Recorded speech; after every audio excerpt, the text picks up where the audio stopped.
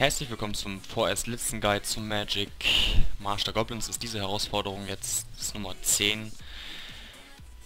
Wenn ihr noch in Zukunft weitere Vorschläge habt bezüglich Guides für Magic oder anderen Games, dann schreibt es einfach in die Kommentare.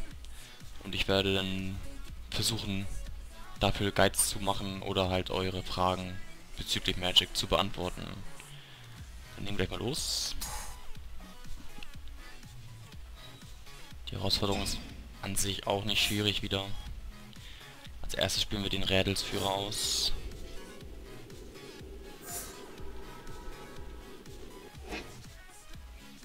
Aktivieren die Tempelglocke, Tempelglocke, genau. Greifen dann mit all unseren Goblins an.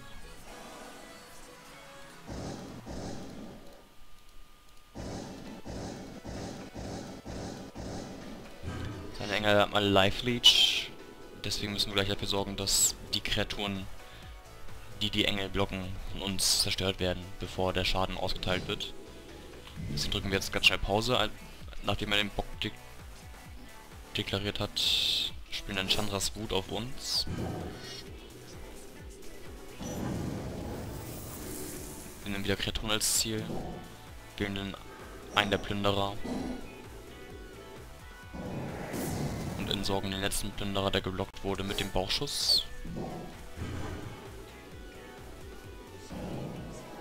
Und somit kommen noch genau 14 Schaden durch. Das war's denn. Ich wünsche euch allen viel Glück dabei. Und noch frohes Zocken, euer Kashi.